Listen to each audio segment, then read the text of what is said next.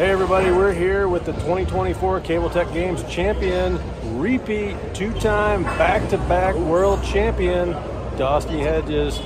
Winner of the 2024 Cable Tech Games, back to defend next year. We'll see you again, same bat time, same bat channel next year.